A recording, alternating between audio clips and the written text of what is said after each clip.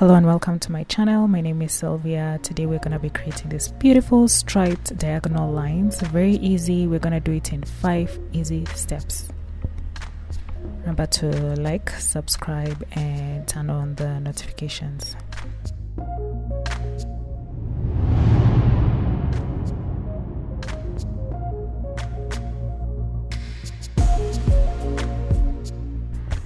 So the first step is create a new document, which is what I have in front of me. So to do that, you go to File, New, which and that is the rectangle, not the rectangle, the last one, which has many different shapes. And what I'm gonna look for is the diagonal, the diagonal shape tool, and you get you click on one corner of your document to the end corner of the document I just went slightly past the corner so then I can move it around if I want to adjust.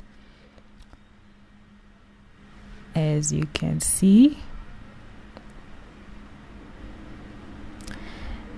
And then I want to change the color to black.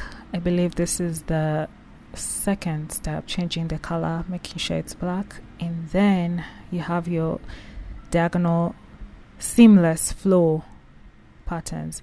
And for the third step it's optional. You can adjust your lines according to how you like it. And at this part you're just eyeballing.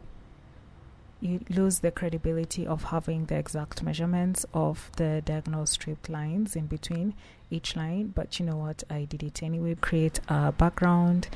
I chose white because i was going for a simple black and white diagonal striped background and for the fifth and final step, you want to save your document, which is file and save, and you have this beautiful diagonal backdrop or background that you can use on other documents. For myself, I am using it for creating a thumbnail. So then you can check out how I created my thumbnail for this particular video. I'm gonna speed up the rest of the video so please remember to like subscribe and uh, turn on the notifications especially if you liked this video.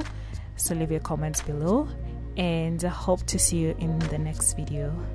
Thank you